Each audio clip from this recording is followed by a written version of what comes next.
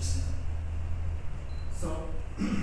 so there's some interesting other things that that are also cool about this park. And so it was 1850 when the Privy Council said this is a, this is going to be a park to celebrate this event. It was Hawaii's first park. Um, in North America, it was like the 34th park. Um, and in 1850, that was the year they decided to Leroy A the first time. Unfortunately, king got sick, and so I think things went a little bit awry, but I don't know the whole story behind that. In 1807, uh, Archibald Cleghorn, Princess Kaiulani's father, was the first uh, park commissioner of the kingdom. And so he was tasked to do something with Thomas Square because it had been vacant for 20, 37 years since 1850, yeah. So he, worked with the, um, the city engineer Robert Sterling, and they designed the pattern, which I'll show you in a minute. So the first part, and the Royal My Band played. And that little square, which you can't read, is actually the actual song list from that event that night. In 1907, U- U- University of Hawaii, which was I think called Hawaii College at that time, they were a land grant college, and they actually opened their first location at where the Lincoln is. At that time, was a house called the Marston House, and so the UH was started at Thomas Square also. The Museum of Art opened in 1927, major art institution, uh, concert hall. Excuse me, please. I haven't been to this uh, presentation before, and I had a little trouble keeping up with Oh, all. I'm sorry.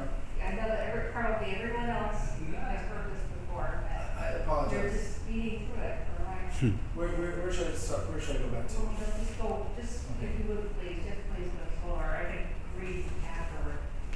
So, so this is, I'm just going over the, some, some of the significant events that happened in the square. So, I, I think everyone has had, has been touched by the square whether they know it or not. I mean, the state model makes a lot of people feel really special about living in this place we call Hawaii. And it has its roots here. The uh, state flag, which when you see that symbolism, you know, makes, makes you very patriotic about the city.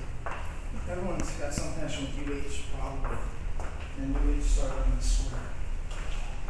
So there's a whole bunch of events that happened here that have really shaped who we are, but we don't really recognize it because the square doesn't really tell that story that well to the, the user who comes to the park. And that's what we're trying to do in this project, is trying to tell that story well. So the art, the art, uh, Art opened in nineteen twenty-seven, and, uh, that opened on the mountain side of the park, and that was the first really open air, one of the first open air indoor outdoor museums in the nation. Uh, and so it was really unique, the Chinese, um, the Chinese uh, courtyard, the Spanish courtyard, the central courtyard, you know, the art that they had in those areas going in and outside. So really significant art museum. The concert hall opened in nineteen sixty-four. Um, the British Jack, which is sort of a, a little bit of an urban myth, was created in nineteen sixty-seven by George Walters, I'll show you in a minute that. And then in nineteen eighty-nine, um, the Museum of Art got the contract to lease the building, the Lincoln County building, and did massive restorations, I think it took them three years, and then the art school opened up. So this is a little bit on the evolution of that space. So in eighteen forty-three, it had a stone column or stone, square stone column two corners, from what I understand, and it marked the property boundaries. And at that time, they used it as an area for testing agricultural crops. They tested jute, oats, um, kiawe, and they were, they planted a lot of other things over time, but it's sort of brought something new into the island, you sort of, you had an extra one, you planted it there, and then people sort of saw how it performed, and decided to use it or not. Like I said before, in eighteen eighty-seven, Cleghorn, Archibald Cleghorn, Princess Kaiulani's father, and Robert Sterling, which, who was the city engineer, designed, um, well, you can't see it in this but if you look at the book, it's actually a pretty cool little design, it's a little washed out on the screen. I think it's worth taking a moment to take a look at. But This is, this is a picture of very ornate. When, and when you look at it, when you look at it, you can see why, see why the banyan trees are where they are, because those are the openings, the four openings. And that's why it's on that X, Y axis. And so, what he did was he took cuttings from the famous Ainahau banyan tree, which was at his daughter's estate in Waikiki. And he took, he made four cuttings, and those were the four trees. And so those four trees are four of the first banyans in our kingdom and in our city. And they're still to this day going strong. Um, so, and then he, he put a bandstand right smack in the middle, which was a, a German fellow by the name of Wilhelm. Uh, either donated or built it, and uh, it became the place where the world went. Band played once a week for the next 30 to 40 years. So then the, the square sat the same way from eight, 19, 1887 to 1932, which is a period of about uh, 45 years. At that time, then McCoy comes down. He decides he's going to be the park commissioner for the territory, I think, at that time, probably. And uh, he works for a dollar a year. He's a millionaire making money from groceries, wholesale groceries. And he hires a husband and wife team. Uh, you know, um, Catherine Richards and, and Richard Thompson. Uh, and they end up joining, they made a firm called Thompson Thompson. They ended up designing a whole bunch of big parks in our state, Ala Moana, Thomas Square. And on her own, she does the courtyards at the Museum of Arts. And so she's got a lot of history in this area. They take, they take everything out of the park except the four banyans. Almost everything is, is straight because the park is sloped. They decided to flatten the park and build a wall on the opposite side and have it flat apart.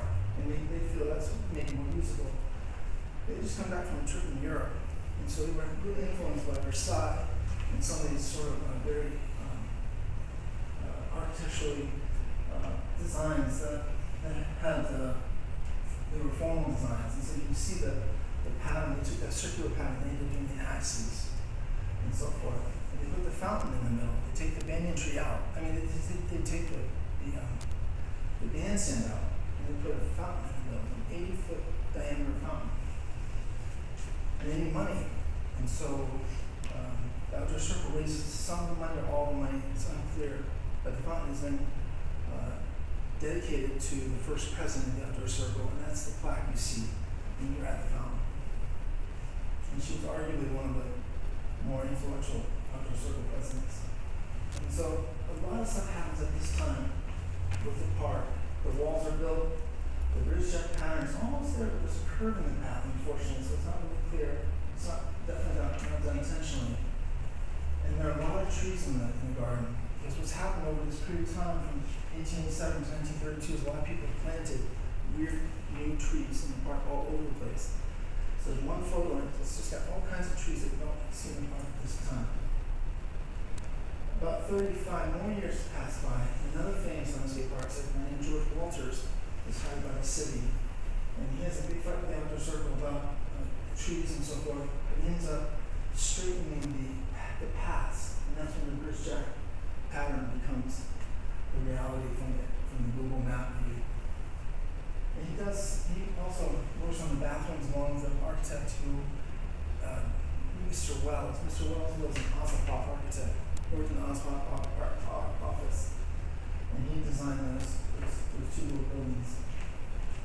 And he, he does a lot of tree pruning, and he says he spent, this is an old slide, but uh, the first phase is the whole park minus the, uh, the banyan tree area, the soils, removing the, uh, the, the different green materials in the park, doing new irrigation system and new grass. And it's gonna extend all the way up to Beretania. Will this be available on the internet? Sorry. Um, this might already be on the internet. Um, but I need to revise it, it's not accurate anymore.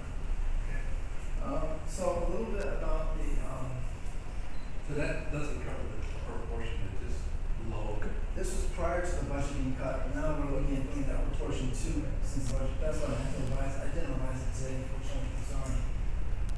So I'm just gonna rotate around the park and, uh, go over some of the things. We've kind of uh, done a little bit more fine drawing than previous was a little bit more cartoony. Um, so this is King Street, uh, the King Street side of the park, running, uh, top to bottom, and then on the top, running left,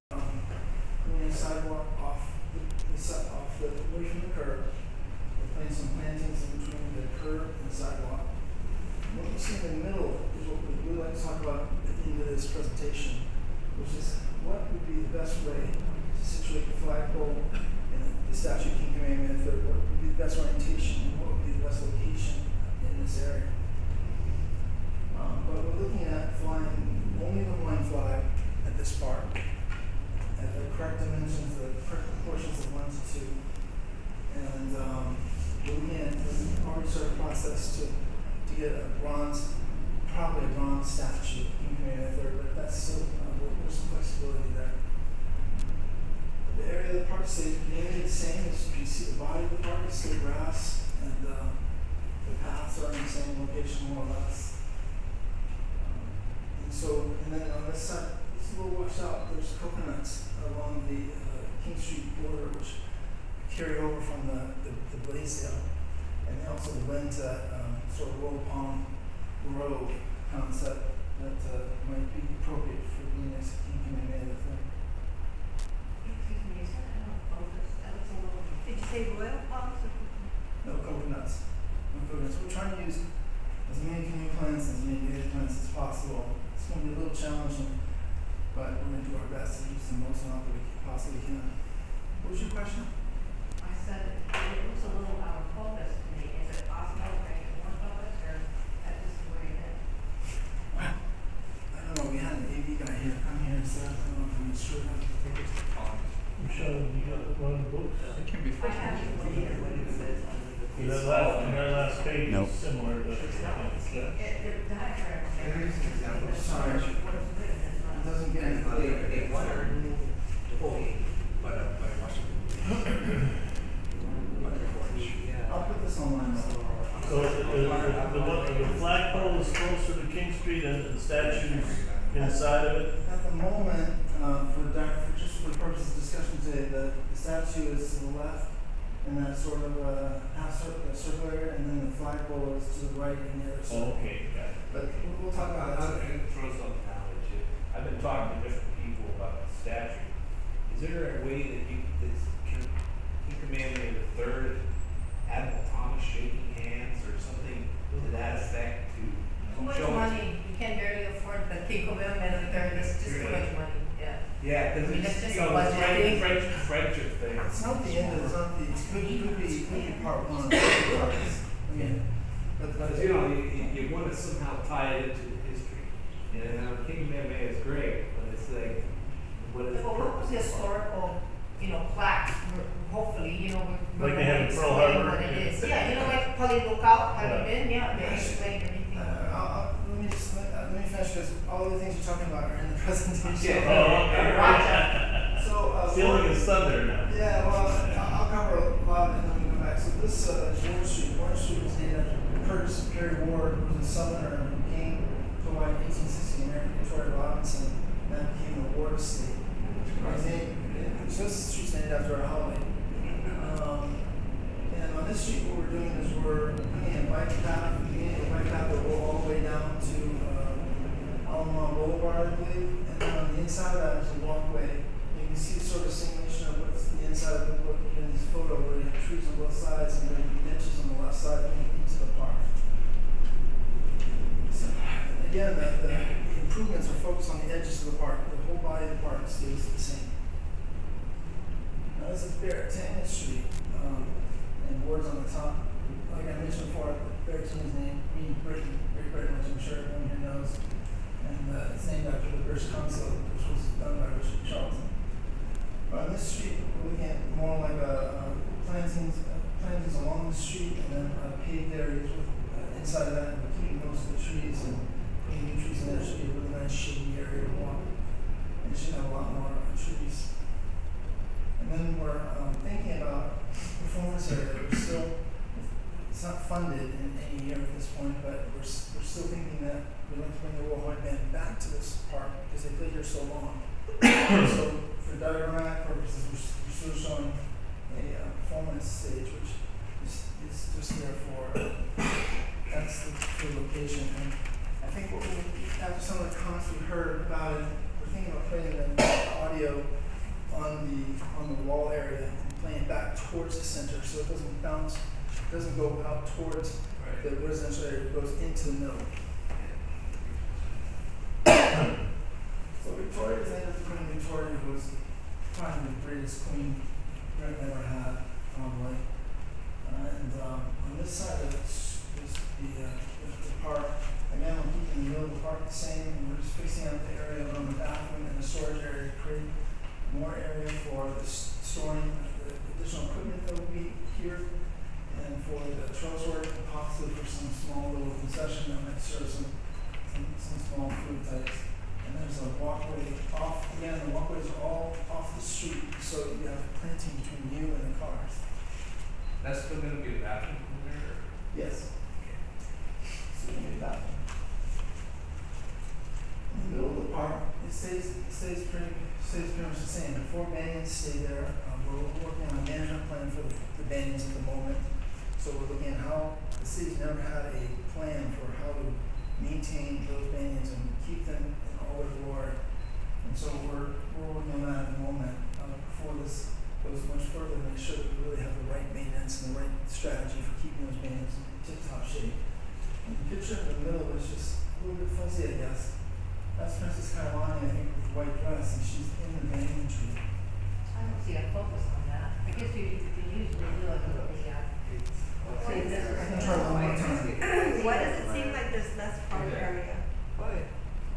No, that's a zoom. It's another. Okay, oh, she's holding a branch, yeah. Um, the fountain is exactly the same size, we're not doing anything different with the fountain, it's eight feet and it stays eight feet. Um, we're actually considering maybe making the whole middle of the area, uh, stone dust or, or, uh, material which would allow the maximum amount of water to go down and, and keep the roots alive. Instead of uh, a paving type material which would maybe be in conflict, so we're looking at something more from the tree's perspective. And then uh, on the right, is what we'd like to use like to try some lighting in the bands. The bands have such really neat, interesting root systems, so I think be something really interesting to people. These- These trails that are leading up to the, to make the, the, the, um, Union Jack, how, is that concrete or what- how big is We that? haven't, haven't figured that out yet. It could be stone dust, it could be like a, a coral dust or stone dust type material, or it could be paving. I I think we're, we just haven't decided yet. And, um, that's still working part of this. Did you say you were gonna take out all the trees? No, no, Oh, okay. no, banyan trees are absolutely the same. No, no, but what about the other trees, the ones with the red seeds? Some get transplanted, some, uh, there's a variety of, uh, different, uh, things we're doing to try to open up the spaces, but, uh, it- it's, it's a mix, some of them stay, some of them go, some get transplanted, it's a mix. Um, I, I, I'll have to go through and we're still meeting on the trees, and that's part of the management plan also, is part of that same discussion. So now the decisions have been made yet.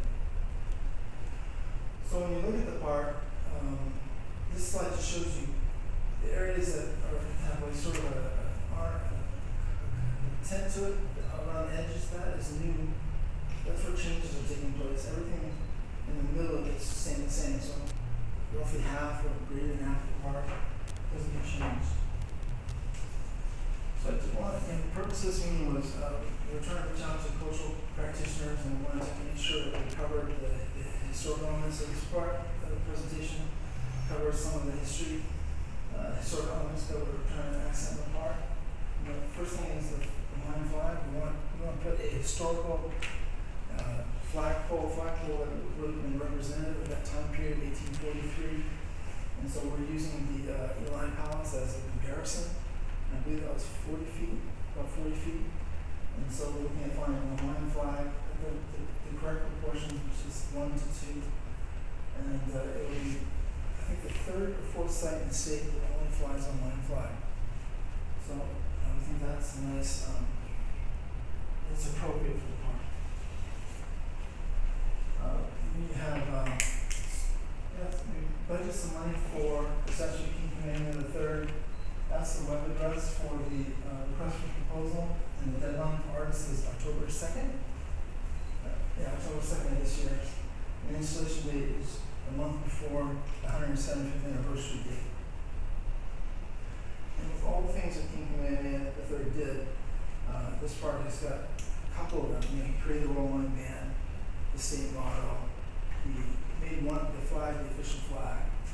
Um, and, uh, of course, rest, rest, well, restoration date.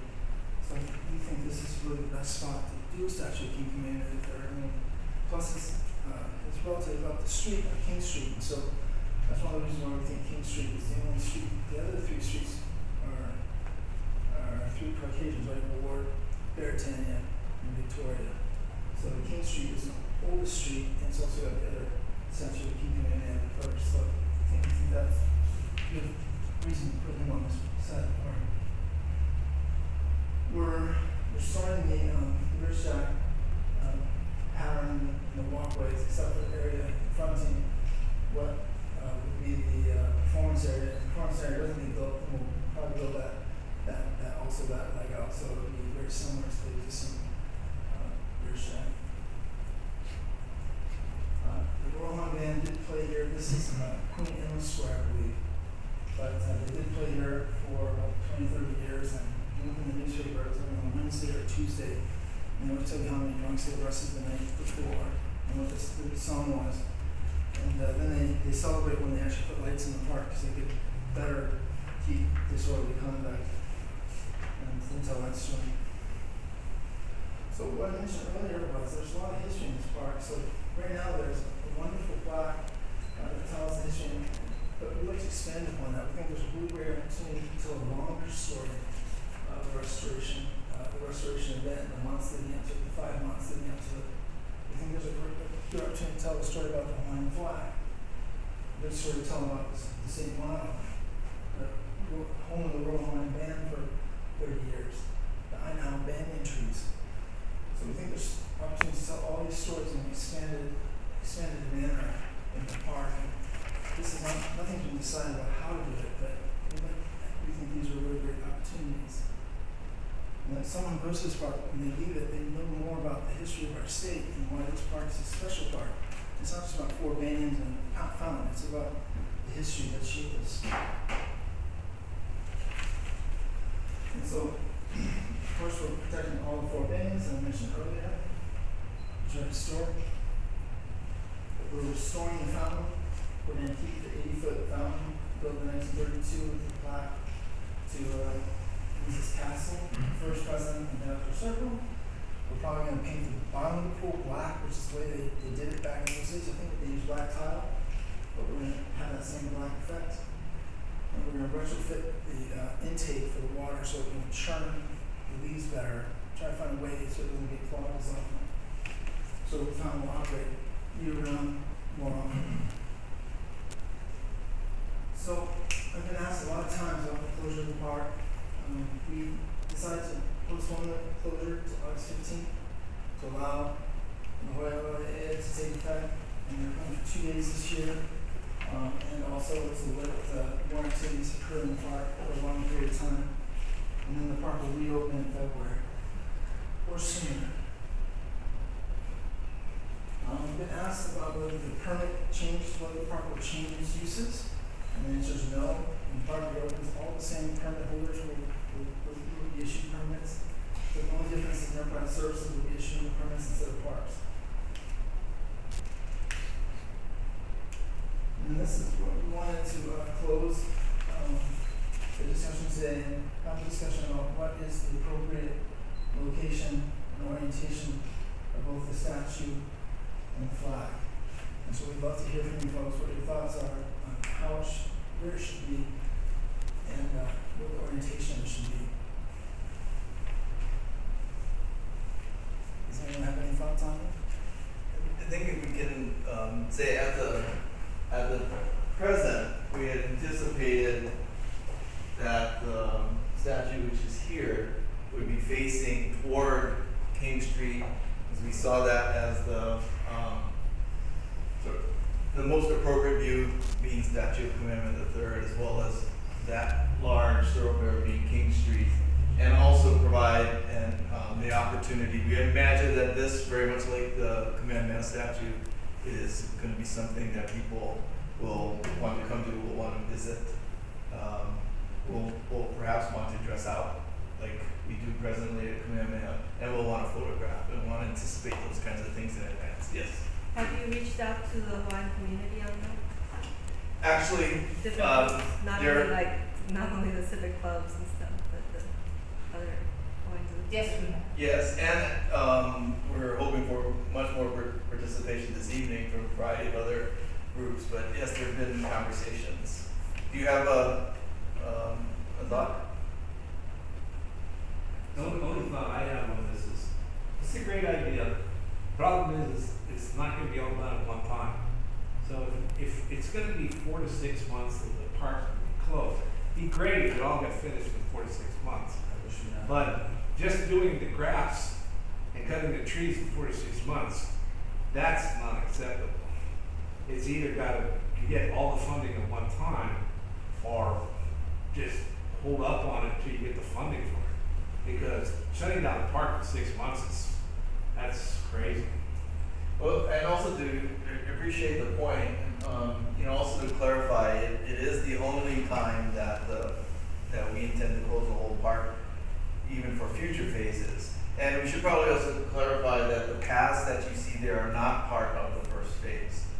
Right, so the, the, the paths aren't there at the end of the first phase, the first phase, um, includes the, um, scraping of the, of the present grass, regrading, irrigation, new grass. I, Uh, I always perceive when you do a construction project, the big ports are the, you know, the construction of the bandstand, construction of the bathrooms, construction of the statue and all this other stuff, and not so much the, the grading of the grass.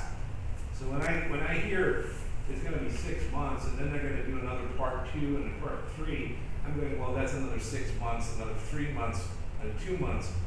And it's like, this park's gonna be shut for years. No, So that's, that's, that's the perception I get based on projects. And I do a lot of projects for the federal government, and I tell you, So, it doesn't look correct. so to answer your, so this, this walkway will be. Yeah, we don't even know what that's gonna be. We will don't be know closed that. on each side of it for, during the construction, so when this construction happens, this will be closed, when we're done with that, then we'll move on to the next one. So the future phases will be phased, only little pieces of it will be closed just to do the work in the immediate area, we're not gonna close the whole park. But to do, when do grass it's the body of the park, the six point two acres is mostly grass mitigation, so. Uh, we had, we had, we had three options, and we said all three of them, one option was to sod the whole park, that would cost them a half a million dollars. And it'll be open really quick. Yeah. Um, that was seen as, uh, uh, two deluxe or two, uh, was really the acceptable. So the next option we looked at was phasing the park, closing a piece of it, and then closing the next piece, you know, and opening the piece before, it, so you go around do one quadrant at a time. And the, the reason that would be more expensive too, we weren't sure how much the cost would be, but you're demobilizing and mobilizing different equipment. So you bring in of equipment for the beginning of the phase, the first quadrant, and then you bring in the last equipment, and then you bring in the first quadrant for the next phase, so you keep bringing stuff on and off, and you pay for that. And so this was seen as the quickest and the cheapest way to do a quality, um, project. And so at the moment, the project is phased to the grass irrigation for the whole park. And then phase two, we had one point five million dollars, and we're looking at trying to do this part of the park for that one point five million. So uh, it might include some more, but we're still in early stages of looking at how much this would cost, how much this would cost, how much these improvements would be, so we can get one piece of the park done. Want me to start? Um, you're gonna close the whole park, right? Or just the Plant grass, but what about the top part? Are you gonna eventually in phase two disassemble that wall and everything? Why are you gonna plant grass? The wall, the wall stays, the The wall wall is stays. staying. We're not, we're not doing anything to the wall. The So, wall and that's stairs okay. and Uh, the, that, the, uh, oh, the center center stairs. The center stairs, uh, will stay the same way too for know the time being. because. They might eventually elongate it, but it might just stay that, might, may, might never change. When you say you're gonna close the park, does that include the sidewalks, especially the uh, Beretania side sidewalk? The sidewalk? sidewalks remain open, the park will be closed to the park boundary. So if you're uh, familiar with the, the sidewalks there, there's presently a green line that, uh, was recent, not recent. Yeah, it was recent. I, actually, I actually have video of them coming and making Yeah. the new boundaries so they could the arrest Park people. will be close to the park boundaries, the sidewalks are all remain accessible during, uh, So which side of the green line are you gonna close? The inside, everything inside the green line. Yeah, well, we have, we're, it's Wait. closed for us. You mean the cement area inside the green line is closed too? Yes. Part of the Right, everything phase within the park boundary. Where are we gonna do Are you, are you pulling the planters at that time? The, we're, There's the no planters grass there. eventually are coming off the sidewalk, it's, there's no timeline. By the time the, the entire project is completed, the planters will be off. Um, we just, at this point, I can't commit to saying the planters will be off at the end of the first So, phase. are you gonna dig up the, the cement up to that green line and plant grass? Well, Because if you're not, then you can't close we, that. gra- we are gonna be working on the upper That's a good point. And Are you gonna plant grass behind the green line? That's my, my. And it's not just grass, no. But we are gonna be working on the upper terrace. I think as Chris mentioned, it wasn't initially anticipated, and now that we, did- we're- we didn't have our entire second phase fully funded. So phase one has the budget for you guys to close everything behind the green line in that area where we do food not bombs every single That's Sunday? right. That's my question. What we- Since what What 2011. we said is, we said we would find a suitable location for food not bombs. Where is our suitable Well, we, location? we haven't had that conversation yet, You're so. closing the park, you need to give us a location. I, I, I thought we were gonna stay in that, that. area. Yeah, that's what we were That's the impression we got, we were gonna stay up there, cause it was not in an area that they were gonna do any, any changes. So, Well, let's, let's. that's what's gonna happen, there's gonna be a big fight, Well, I can see it already. Oh, big time. Big. I mean, We promised it. guaranteed. Guaranteed. Cause that's what you told us. You told us you're gonna give us that cement spot. Yeah. I, I'm new to this, but I would just like to ask, I, the most beautiful thing to me about Thomas Park Square is are the trees. I'm sorry to see that you're taking some down, is it because of the pattern of things you're doing? Or is it in general, because it seems like you are we're, s- limiting we're, we're still talking about the trees, and we haven't decided on everything at this point. We're, s- we're gonna meet this week and talk more about the management of the trees. And we'll finalize the plan at that time. I also understand that the restrooms are very dangerous at night, you can't go this. Yeah. Well, Uh, we, we are gonna fix up the restrooms probably also in phase two. Probably, that's the other thing, so we'll, we'll do this area here, and then we're also looking at uh, doing the, the restroom, and fixing those up. So, So there's money in the budget for the bathrooms too, cause I thought that was phase There's two. one point five million dollars in phase two, that's, uh, that we're trying to figure out where we're gonna spend it, and at this point, we're looking at this area, and we're looking at the bathrooms. So if we have, uh, the hundred seventieth anniversary, we have that part of the park finished, and we have the bathrooms in, in like good condition. So that, at the moment, is the plan. Are, are you gonna provide other public bathrooms available for people in the area while you're closing down the bathrooms there? Good question. Well, this is a construction site, no, that's not anticipated. The bathrooms are, are there principally to, to serve the park users. Park When the park use it. reopens, we're gonna do our best to clean it and get that, get the existing bathrooms serviceable, so when the park reopens, they can be used and There's then no public upgraded in, in in the phase whole two. area, the whole city, and people go there. People of the area. Major hygiene place. I'm not only talking about homeless, I'm talking about people of the area using. Especially taxi drivers. Yeah, bus stuff. drivers, I mean Bus drivers, buses. they- You almost need a porta potty in that area to be a replacement. for- You gotta have people going on the street. Yeah. I think, uh, I think it's an important thing to note, and we'll, we'll certainly take that down, as I said, the, um, the, uh, the placement, the present placement of the restrooms and Thomas Square was anticipated for the park users, so we were figuring, we're gonna, we're gonna close it, uh, that there wouldn't be, uh, we wouldn't be replacing that service. There's, there's But we not- will take that note, yeah. Yeah, it's definitely, because it- there's not very many bathrooms in the area anyway. They've cut down and, you know, you can go to McDonald's or Burger King, but that's, you know, maybe at That- night, you know, it's not, Yeah. they're closed off. And the closure of sidewalks and bathrooms has been used as a tactic on those lower on the hierarchy and, and those who do not have permanent places to sleep. We've seen it, we've witnessed it, we've. We got it on video. We got it on video. They, they, they close sidewalks off literally to some people. Other Right. people are allowed in. Right. So they do this with bathrooms as well. There is a long stand, and you see the planners there? That's an example of them trying to keep people out away from the, let's say the, uh, Exactly. what was Museum of Arts. And, you know, this, it, it proof positive. If you don't believe it, look at the planners. So they will use this as a tactic on, uh, people, free association. Also, during the grass planting stage, is it enterprise services or is it still parks and rec? Enterprise services, um, will, will be, well, anticipate- February, you said at an earlier meeting. We would so- be, um, uh, the transfer will be completed by the time the park reopens, so we're using that period, this period of time. So technically Parks and Rec is closing the park?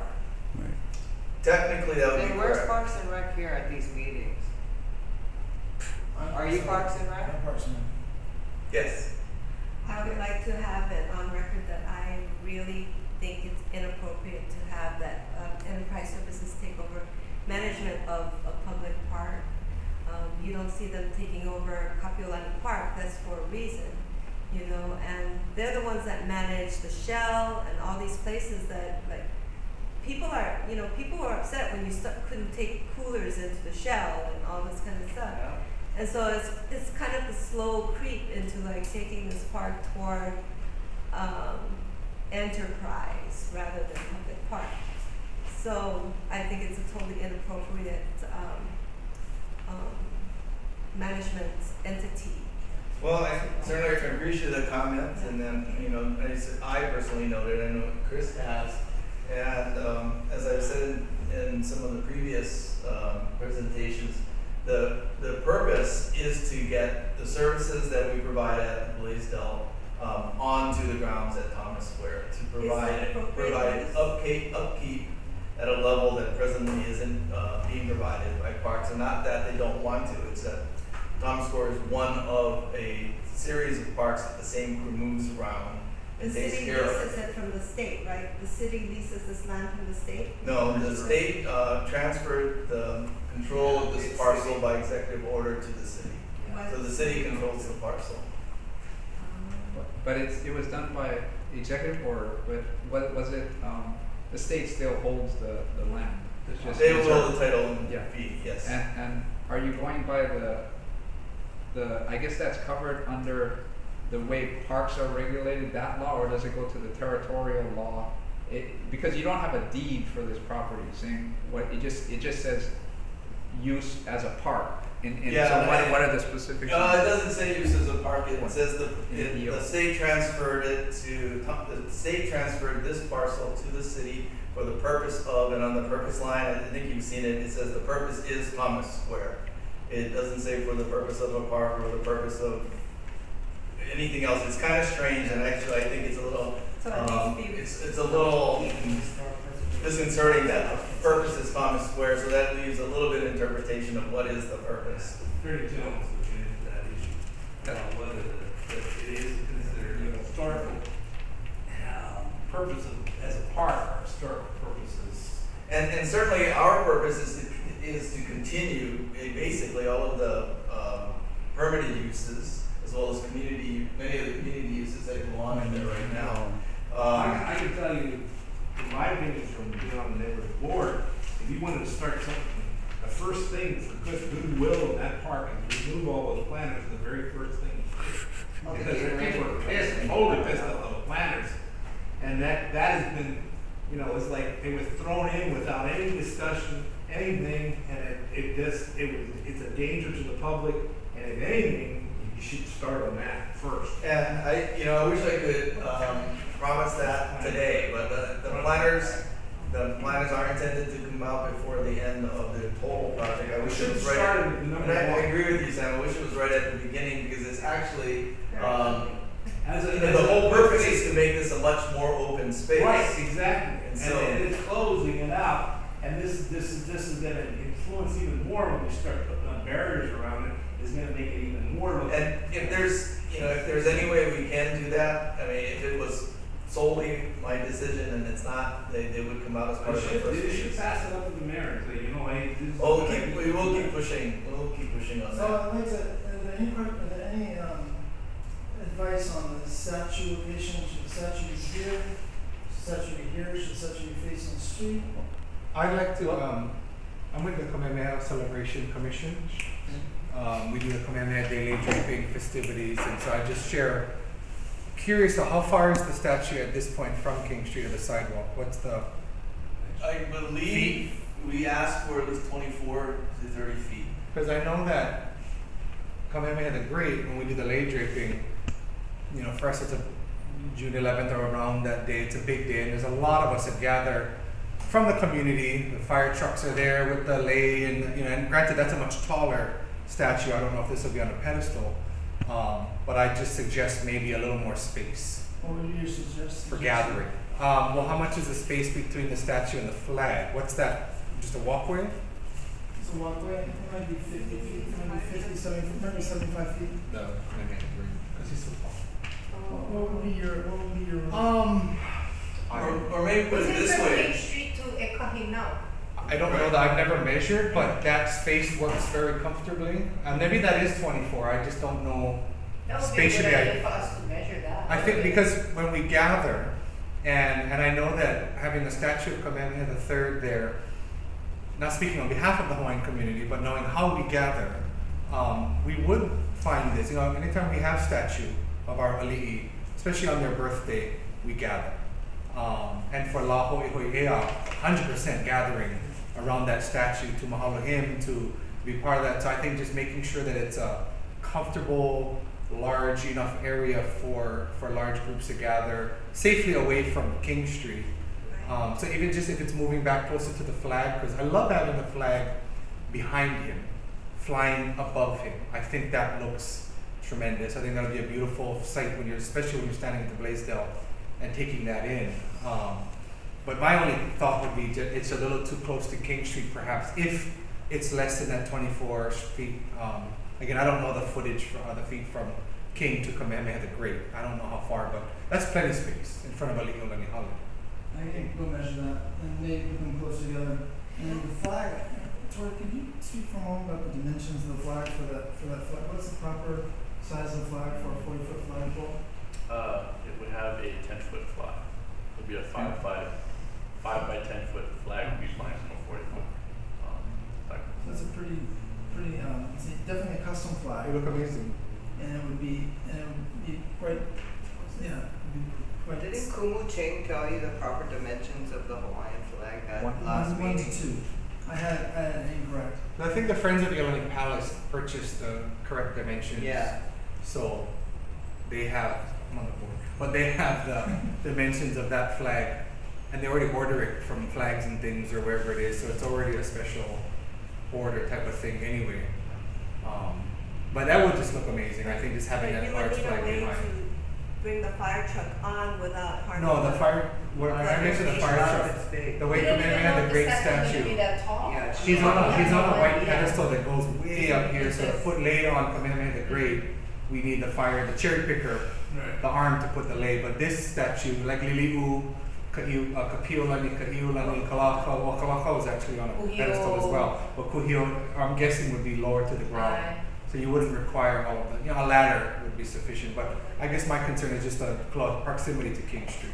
That when they gather, when we gather, we gather in force with aloha, but to offer lei, to offer ho'okupu, and that may not be enough space comfortably for everyone, whereas everyone will be on the sides in the grass. So I think if the statue were pushed back closer to the flag, closer to the flag that he, as you say, you know, proclaimed here, would be a little more comfortable, I think, in general. But that's just my two cents. That's just my thirty-five cents. Well, that, that's the reason why we're here today, was to try to comment on these two locations, because two lots variables that we're still trying to work out those details.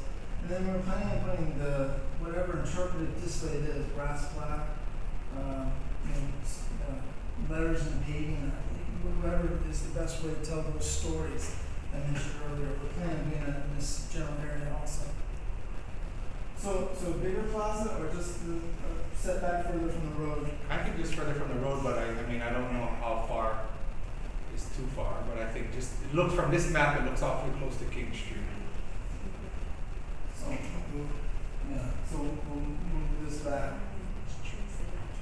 One of, one of the uh, more recent versions of the, this part of the master plan that had dimensions on it, when we met with the consultants, had it only twelve feet back, and we asked, asked them to double it to twenty-four, and that's why it said that's what it, um, should be in the. Might be safe, I just, 24 I can't think about how far twenty-four feet is.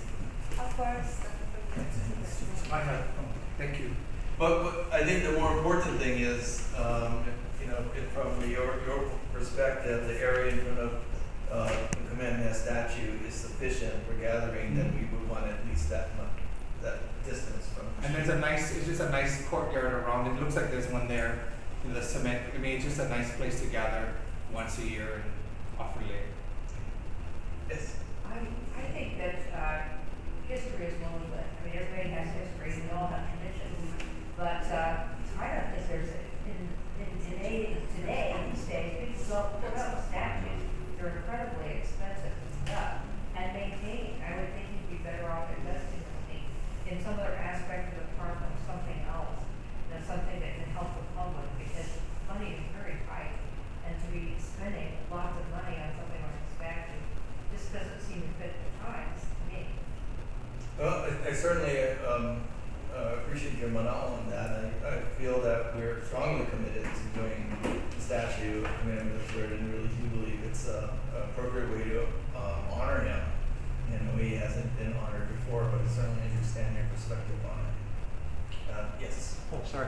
Uh, this is in regards to the paths. When you do this irrigation system, will the paths disappear? I, I, I got that impression from the first meeting when you said. They, they, they will disappear for one year until the next phase comes in and does the paths, and So do you have the budget to put them back, or is that part of the one point five million? Will we, Uh, will they have to be, you, you have to wait until another budget session to get the money? That's still on, that, we're still working on it, may, may or may not be, may or may not have to wait, but these two, that, this part will most likely be done, and these, these, uh, these may get the funds to do those two. And you're disappearing the other path that completes the Union Jack on the other side right there. We're trying to create a space for, um, the city, the, whatever sort of performance area ends up being, so instead of, you know, breaking up, we're trying to create a place where people can sit around.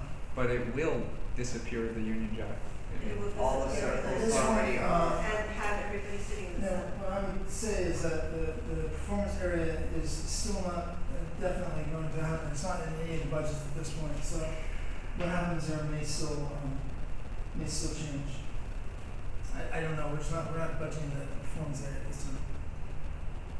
Yeah, oh, sure. Um, since you're talking about moving the statue, uh, a, a, a little bit, do, do you have it in mind of deciding how tall the statue is? Or how high it will be off the ground, for example? The Reason I'm asking is that, uh, I know it's possible, I think it's possible, I've seen simulations and the way you might imagine how something is set up, view planes. Is there a way you can generate the view planes based on how tall the statue is, uh, since it isn't aligned with the flag behind it, so how it might look to a pedestrian, to somebody driving by, to somebody across the street. Uh, I think if there's a way to look at that, you know, for, for the best effect, uh, maybe you can generate that by computer. I I, I think the only, um, the only variable that we haven't accounted for yet, and we know the height of the flagpole. Yeah. We, we have specified a scale for the statue, is that correct, Lori? Yeah, that'll be determined to the artist. Right now, it's a request for qualifications. Once the artist finalists have been selected, they will present our proposals, their proposals. And so when you see the proposal, you will see the rendering and the actual scale of. And then and they can, they can imagine that, Yes. that'd be a shame if you built everything, and, oh geez, if we had moved that five feet Yeah. further back or forward, you know. Right, so when the proposals are, uh, are submitted, we will work with them as to exact location, taking in all this public input.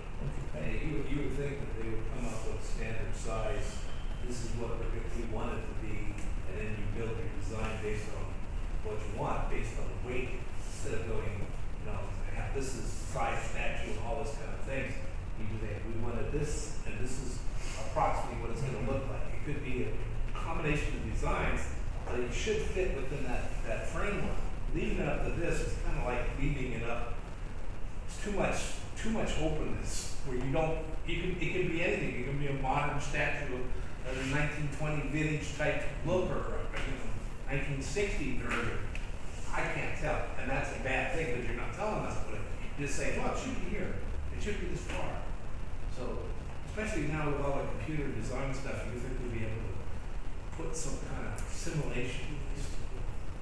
What, uh, and I, I apologize because I can't recall, Tori, what's our timeline on the RFQ? October seventh. Um, the application deadline is October second. It, it then goes to committee review. The finalists will be selected in November two thousand sixteen. The finalists will develop their proposals from December to February two thousand seventeen. Presentations will be given in March two thousand seventeen with the final selection in May two thousand seventeen. Now, um, the se- the se- selection is gonna be made by The commission. the commission and, and the, the MOCA commission. But the discussion, their discussion will be in So it's your normal open open session, public, right? yeah. Mhm. All our commission meetings are open. So there's opportunity to, for community to weigh in on the finalists, correct? Yeah, so at the um, finalist presentation in March, it is a public meeting. So um, the public can attend and listen to all the finalist presentations and give comment afterward, as well as at the May 2007 meeting. March, March is the finalist presentation, right? Correct. This is all online at that, uh, Is it gonna be a bronze statue or is it gonna be, is there, And I can't recall if we specified Uh, material. the it's it's um, suggested that the material be bronze, but it's not dictated specifically to the artist. So it's, as long as it's of an outdoor durable material.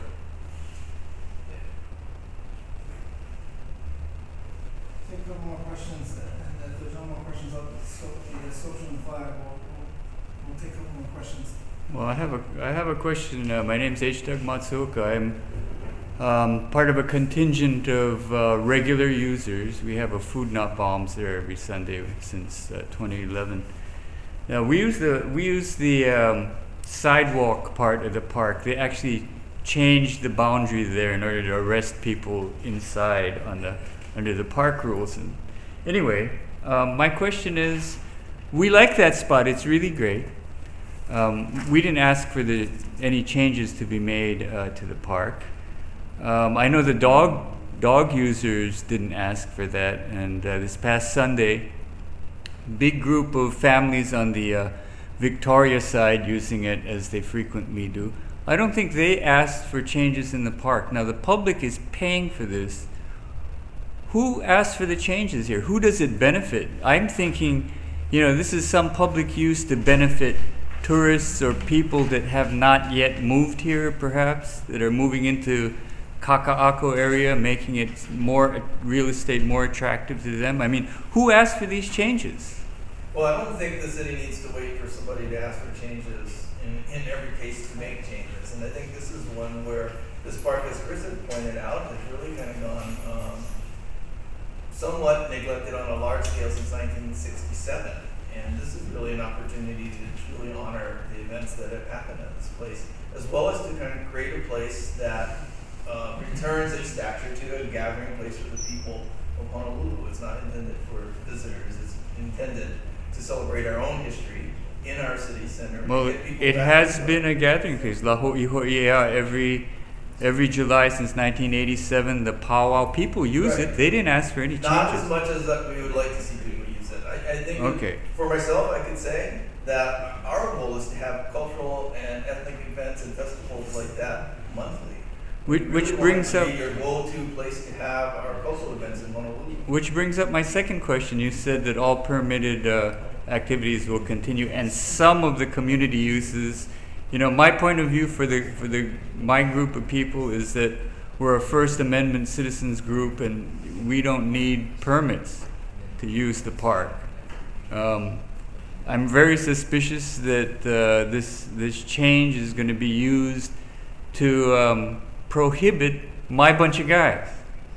You said some of the community uses, so some of the community uses are going to be excluded. Who are who's on the Actually, what I said Who's on the blacklist? I refer just to the permitted events, and, uh, we. Well, you we- said we- you said all of the permitted uses and some of the community uses. And. I think what we can, what we can clarify is that although it's an administrative decision to determine the department that has management and control of the, of the parcel of the square, um, in order to adopt rules to operate within that, we go have to go through our normal rulemaking process. That's right.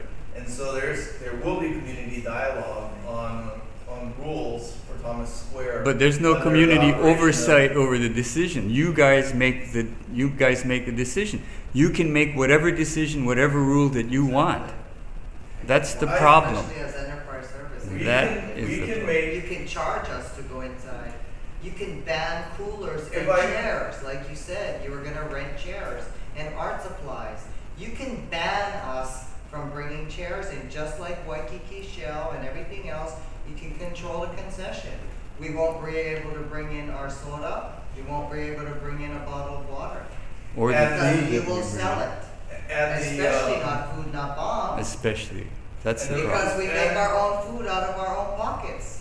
the You won't make a rulemaking cent. Process is the appropriate time to have this discussion again, and I'm, I'm certain we will. We- But with regard to charging discussion. any kinds of fees, as I said in the last meeting, I will say it again, that all of the, uh, all of my department's fees are set by ordinance, which means they're a law, which means I can't charge a fee that the council doesn't approve. So there's no guarantee to the public that once Enterprise Services takes over in February, that we still will be able to bring in chairs and, and sodas and whatever. There is no guarantee. That's right. There's no guarantee. Once you guys take over in February, You can do what you the have you- every single opportunity and defined by your name, Enterprise Services are in the money-making business, so.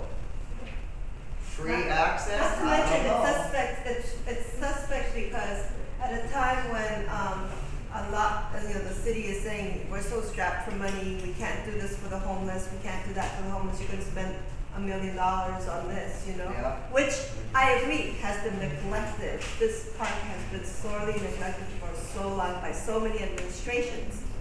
But because of that, the timing is suspect because, because every, you know, the rail project has bled everything out of everything else and, and then they say, oh, we, we don't have enough money to like do this, uh, public program for the, for the homeless, or, you know, the money is just, it just seems suspect on the timing. Especially since they only Also, have we this were, year's the school budget. have, uh, water fountains. Yeah, Yes. How many? Um, water, you're talking about the fountain that's in the park or well, water to three. Drinking fountains? I think it's a necessity. Oh, I don't think there is a Yeah. fountain in the park. there Well, we by the should bathroom. one. There is by the There should be So- at least two, and maybe, yeah, at least two, I'd say, for the side, and that's much more important than anything else in there. You guys should use the damn park before one like last- changing it around. We're, we're I think, minutes I- over. but, but you know, these are important things. Well, These I- are I- important I'm questions. gonna ask the lady in the back, do you have any questions? Everyone else has asked questions here so far? You know, I'm sorry, I, I came in late, uh, but I've been getting some update from Kainoa. And, um, I guess one of the things was that he was mentioning that, um, I guess your department would in fact be taking over the administration of the park? Would that be correct? Yes. And you know, I think your department, your organization is already burdened with all of the responsibilities that you already have. I think with the shell and the stadium and everything else. And I really think that the park itself should really be administered by the people. You know, I think we've had so many organizations administering so many things and then moving them together under one head because we have too many, um, you know, duplicate organizations. So I really feel that the, the park itself should be let alone until there are numerous meetings among the community and among all of the different organizations so that they can have their input. And I, I was just told by Kainoa, this is his first meeting, but there have been other meetings.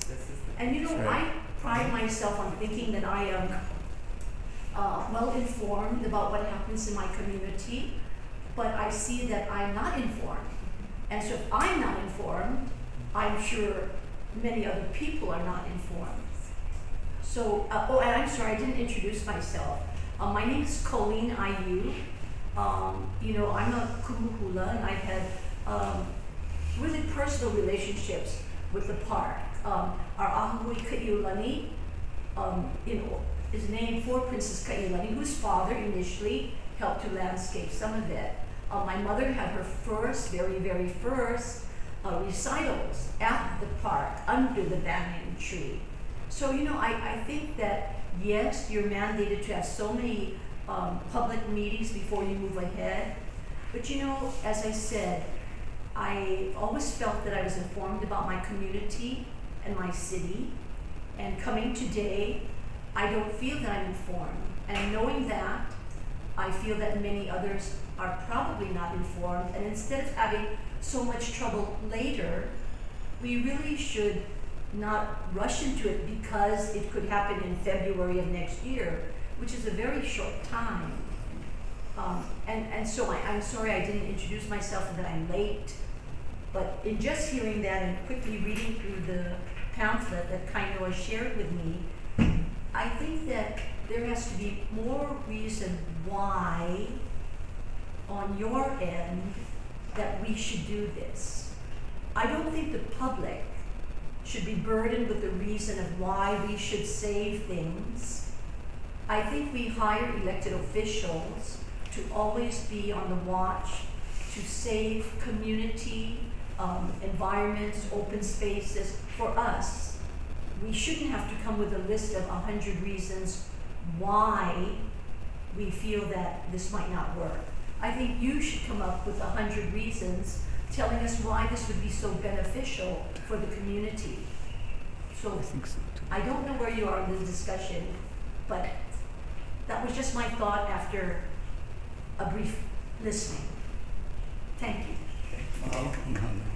Oh, oh, oh, thanks. So earlier, sorry for, earlier you mentioned that you don't have to use it as a park because they just turn it over to you. So you're using the latest EO and, okay. Yeah, I'm not saying we don't have to use it as a park. I mean, I, so what I said was that the, the EO specified that the purpose of the transfer was for it to be Thomas Square. So certainly our intention is that, it, you know, it is Thomas Square, it continues to be Thomas Square and all of the things that we want to do, So including with the transfer to enterprise so services. you have to treat like. honors it as Thomas Square and what we have historic, what historically has happened in this place and traditionally has happened in this place. But so far as use, you have to treat it like a park, are you going by that precedent? And I wanted to also ask, uh, what, what, what were some of the, uh, administrative rules things? And is it you deciding enterprise them services at the end, or it- does council get involved? But go on. So administrative, well, administrative rules, council doesn't directly get involved in administrative rules. So administrative rules is really, is, is dictated by statute, so it's a, it's a state law that lays out the process by which this has to happen. So the, the department, um, does the initial drafting of the rules, takes it out to a community meeting, uh, has publicized, I can't remember, if it's thirty days or ninety days, there's some period of time from when you publicize till you can hold a meeting. We have a meeting on the rules. Um, if there are no substantive changes that come from the conversation with the community, then it, the rules would go to, go through the rest of its process. Ultimately, for the count, uh, for the city, I believe the mayor would have to, uh, sign off on them. If it was the state, the governor signs off on them before they become effective. Um, if there are substantive comments, which I would suspect that will be, hap- will happen in this case, then what the You can the count on statute it. requires is that we come back, the city regroups, revises, and comes back out with its revised, proposed revised rules for another hearing, and that process continues until the, the final rule is adopted. And, and you have to use it like a park. I just wanted to get that confirmed. If You, you have to use it as a park use? I mean, We fine. intend to use it They don't. like My, a park. my, my But you, you don't have to. No. No, they They don't, could that's take why it it's over going and to then still be a enterprise. square, Okay. Thomas Right. Square. Right. Yeah, which is not, which is not the intention, right? The intention is to, end plan is to grass it over. My concern is, originally when this was discussed, there was a community discussion, and then all of a sudden it went into a special design district, which nobody knew what was happening. It never went before the neighborhood boards until the very end, where they already had all this thing figured out and said, okay, this is what we're gonna do. All the discussion, and I was in from the very beginning when this first started, I went to the meetings, and we had discussions and stuff. But I don't see any of the stuff that we discussed, yeah, all the stuff we brought up is not there. Yeah. And so it's like, this was kind of like agreed to previously by some special design district people that really didn't take into consideration any of the discussion that was going. So I kind of look at this as like, this is like a done deal and that nobody's really looking at it and they're not taking it into the community. They're not discussing the people in the park, they're not even going back. So I, I kind of like say this kill the deal because until you get it all put together as a solid thing, splitting up in three sections is really just delaying it from ever being done. And that is not a good idea to do it this way. It's already been tainted because of the way it was done and was discussed. And it's always going to be perceived as, oh, that was some design that was Yeah. put together by some groups Some that just special wanted deal. to do it, and they didn't even bring it up with the community at all. And now we're just in the tail end trying to get it thrown in and say, okay, we'll redo this. And that's bad. That's really bad. And we see a lot of that with the rail, all this other stuff. It's, it's, you know, it's even with this, you know, neighborhood board, where they wanted to get rid of the neighborhood boards because they wanted to do one have discussions.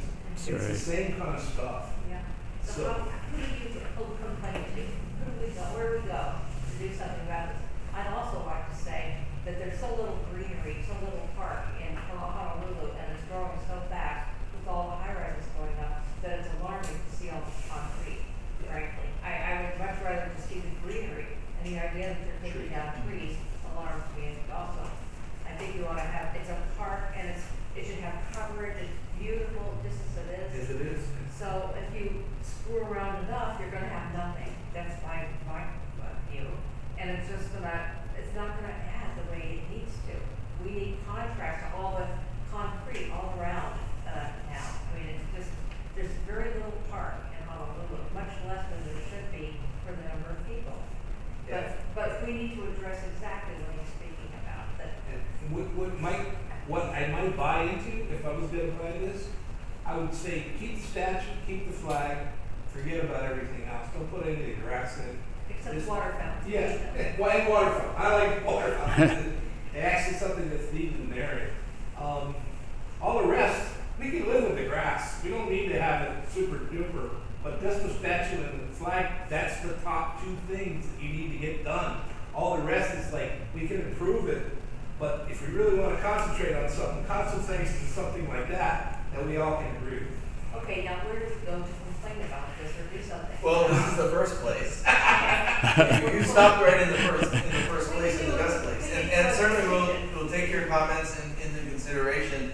And what I would also say is, you know, if that's not um, if that's not satisfactory, the probably the next best thing to do is there's at least two different ways um, for the community to get their comments um, um, made, have their comments made known to the mayor.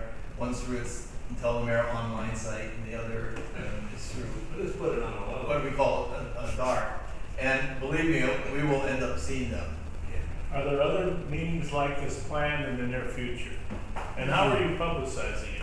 Madam? So there's, there's been about 30 to 35 meetings on this project. We've gone to the neighbor, five neighborhood boards, we've gone to four of them twice. Okay. We've gone to one three times. Um, we had 15 meetings just in the last two months, and so uh, we publicized them some uh, through media, some through mailings, some through phone calls, a variety of meetings. Uh, every single landowner around the property, uh, the whole the whole area of that neighborhood board to see the, the mailer for each building. Uh, we've gone to the neighborhood board three times so far. Once uh, 18 months ago, and twice, twice or three times. This. Have you contacted Palaos? Uh, we've contacted certain, uh, some of the cultural organizations that we have, uh, their addresses of, and, uh, we have done that also, and they were, they were invited tonight. So what You was the next one on the calendar? organizations. Well, at this point, um, this is, this is the last, the last series of meetings we're having at this point, and, uh, we haven't, we haven't planned the next series yet. There may be others though, public meetings. You know, between now and the project being done, there'll be many meetings between now and two thousand eighteen. But this construction project will probably have some meeting. Uh, you know, there's, there's different, different permits we have to get through and some permits require meetings. So there's, there's no end of meetings, no doubt. Okay. When is the public comment period for phase one closed? Well, there's really no such thing as a public comment period, I'd say for phase one. I think that's, that's what we're Wait. doing right now. That says draft for public comment. Right, I'm just saying there's, there's no formal period. Right now, our, our intention is to commence, uh, phase one work in the middle of August. Without public We said August 15th, and we've been taking public comment for a very long time. Oh. You mean us all. That's your public comment. And this and other meetings that we've had and other comments. What about written public comment? Where's your place where we write the public comment uh, and it's recorded, documented for you to pull up and say, Right. these are what the public said. That all goes into your EIS. Yeah. That's all part of your plan when you propose it. place so we can see. There's no going on. EIS for there's EA for this project. There's no federal money, there's no environmental impact statement required for this project. Well, you're starting at ground zero and a beautiful park. The work that we're doing in phase one is all exempt from the environmental process. Grass irrigation is considered exempt work for environmental work for, for city parks. It's an agreement that city has with Shifty, and most state agencies have that with Shifty, and most Actually, you're still in shifty revision. Excuse me, I didn't hear you.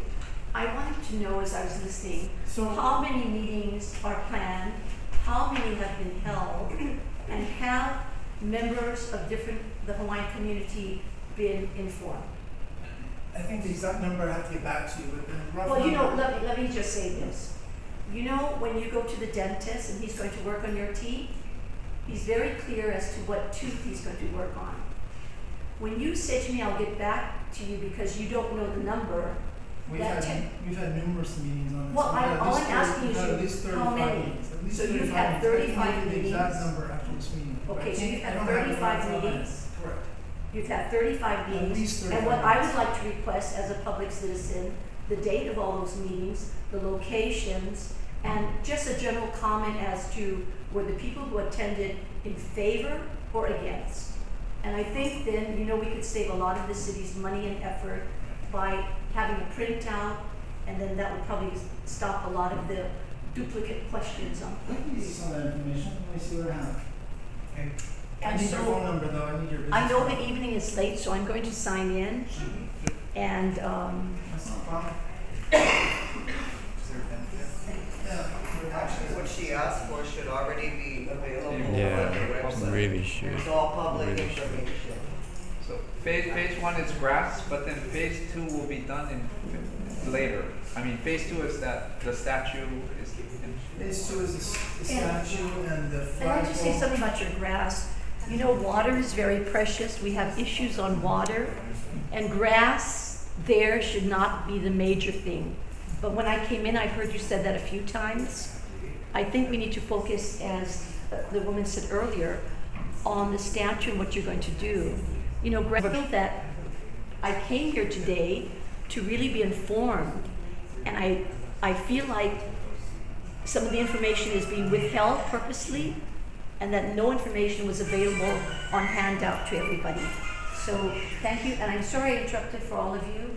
No, no. I'm sure you No, all have other things to say, but um, I would like to get notified, and my phone number is there, and I will call the mayor's office tomorrow and let him know that I request the information that I asked for. So, thank you very much. Thank you. for spending your Mahalo. evening with us. And for the cost of that, for us to you could have put in several, uh, iron, iron, iron settees in the, uh, ground. More than this much here. I couldn't find the mission for enterprise services, and that may supposedly guide your organization. Is there a mission, could you state it, Good versus question. Parks mission? I mean, Uh, missions, uh, mission, you can find on the Enterprise Services, uh, website. So if you go to the city's website and you click down on through all of the departments. does that, are you required to be guided by that, or is that like, uh, Mission, uh, city mission statements are, uh, yes, they are guides. Um, they're, they're different from, um, you know, they're different from rules or ordinances, they are guides. And basically, our, our mission is to provide educational and entertainment, um, opportunities for the community. And we are by mission expected to, um, be self-sustaining, to cover our own expenses. There you go. So we are basically expected to be a break-even, um, operation. There you go. That's where you charge money. Yeah, and um, along those lines, when you have permitted events, you could technically, if it were written in the rules, unless it conflicts with ordinance or, you know, HRS, you could close it off and have security kind of ask, you know, please leave, uh, versus a parks permit, which doesn't exactly do that? Right. Is that, is that correct? I can tell you that our intention is that events that are held at Thomas Square are uh, free of charge, free of admission. if there is a fee that's associated, it's not gonna be a fee that the that, um, someone coming to the, to the park for an event would be paying. There may be a fee that's associated with the organization that wants to hold the event there. Um, as I said, that, uh, what the fee will be ult- ultimately has to be passed by the council. So, in the, in the same way that, uh, right now, I believe the parks permit is like fifteen dollars, I'm not sure how they came up with fifteen dollars. There would be some fee associated with, uh, permitted uses on the square. Ultimately, regardless of what it is the department wants, it's gonna end up being what it, what the council's willing to pass. So you could exclude some people if they don't pay the fee then from that area. Not from attendance, that's not the intention. Uh, But it, I know that's not the intention, but if, it, it could be written in the permit that, or written in the rules that you could, uh, you know, exclude some people from being there, or if it's permitted to be closed off, you know, that, that's the concern of a lot of people. We wanna Mm. maintain free association for all people to go in the park. Under Parks and Recreation, that's fairly predictable. I don't know what it's like when you have shifts in leadership at, at, uh, Enterprise Services or new mayors. That seems more dynamic, according with more business oriented, uh, versus Parks and Rec, which is kinda, you know. And for, for enterprise services, the one event that we have right now that I'd say events in Thomas Square would be the most like is uh, the weekly farmers market, where the, you know, there is one entity that arranges for the different um, vendors to be there. But for those of us from the general public that attend, there's no, there's no fee? We, we might pay for the meal or whatever it is we're getting, but we don't pay to be there. Those are the kinds of events that we envision for Thomas Square. But, it could be closed off to certain people if, if, if that was wanted. That's, that's what I'm trying to get at, should If it's, if it was permitted, if it was permitted in the final rule, then perhaps it could be. I, I'm saying at this point in time, um, I, I can't think of a reason why that would be necessary because we anticipate free events. The purpose for the park, I think, is ceremonial, the very last. I think the important thing is how it helps the living beings in, in the city. While they have a refuge, a place to go and enjoy, there's you, something that's beautiful, uh, and not be surrounded by, by concrete. Alright. Thank you, I think I appreciate that comment. Thank you for again spending your time with us this evening and sharing your. Okay, that's it. Uh, knowledge. Kind of uh, public uh, information, not a hearing at all. Nothing was heard, nothing was decided. Uh, much like the previous meeting, but uh, you know, with the repetition of the questions, some of the questions were uh, more precise. and uh, Yeah, I think that's actually something. if this uh, project is gonna, you want to say something, Sam? They should have went before the neighborhood board when they first started. They should have. They should They have. should have, they should have hit it and had the community, the, the hospitals around the area decide. Yeah. They shouldn't have, uh, kept it secret and, uh, and it's not all bad. Yeah, no, but, it's not all bad. eh, But the problem is the secrecy has made it to a point where people don't know what to expect. Yeah, as you say, it tainted the. the tainted the process. process really bad. And to this to this point that maybe we just have the statue and the flagpole and forget about all the rest. Yeah, yeah. And and, and, and, I mean, because you know how important is is golf course grass? That's Yeah, what it is. yeah. Oh, we're gonna have nice grass. Well, you know, I think the grass that's there is good enough. You know, leave. I say leave it the way it is. Uh, yeah, I, I don't see a problem. Why with spend park. millions of dollars?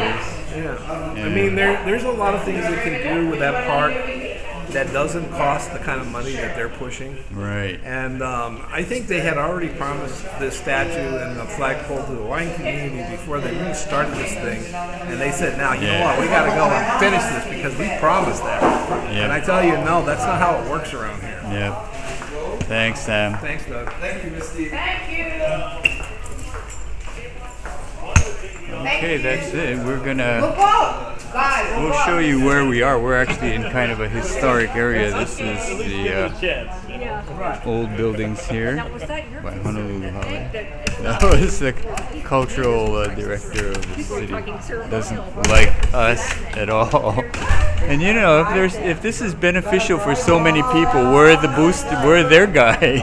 You know. Decided, We're gonna do it. Okay, thanks. We're gonna. You agree with us? It's like, There's a lot of discussion going on.